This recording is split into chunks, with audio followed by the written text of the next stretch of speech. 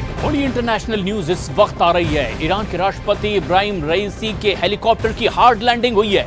Iran के media के हवाले से जो खबर आ रही है कि अब तक कोई सुराग नहीं लग पाया है। लेकिन इसमें राष्ट्रपति इब्राहिम रईसी सवार थे और अजरबैजान प्रांत के जुल्फा के पास ये हार्ड लैंडिंग हुई है। तेहरान से तकरीबन 600 किलोमीटर दूर हेलीकॉप्टर की हार्ड लैंडिंग की खबर आ रही है।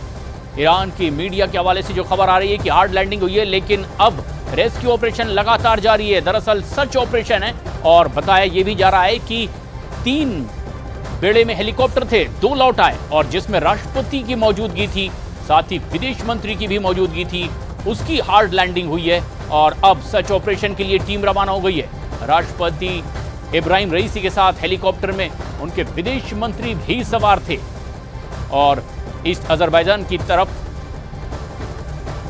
उड़ान भरी थी और ऐसे में दो हेलीकॉप्टर तो वापस आ गए हैं, लेकिन जिसमें खुद राष्ट्रपति इब्राहिम रईसी सवार थे, उनके विदेश मंत्री की मौजूदगी थी, उसका पता नहीं चल पाया है। दरअसल, जो आधिकारिक जानकारी अभी तक ईरानी मीडिया के हवाले से खबर आ रही है, उसके मुताबिक कोई संपर्क नहीं हो पा रहा है उस हेलीकॉप्टर से, जिसमें ईरान के विदेश मंत्री और राष्ट्रपति की मौजूदगी थी।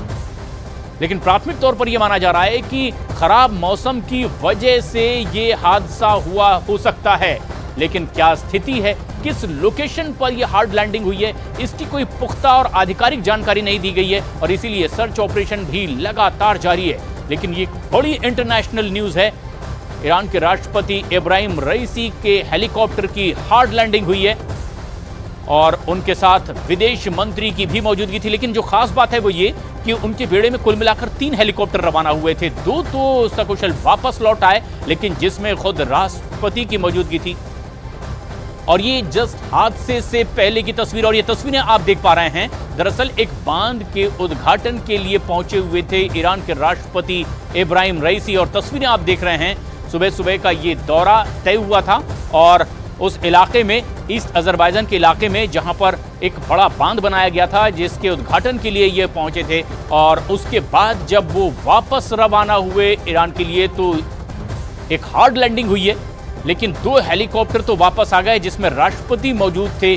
वो हादसे का शिकार हो गया है, लेकिन लोकेशन इस वक्त क्या है, इसके लिए सर्च ऑपरेशन लगातार युद्ध स्तर पर जारी है।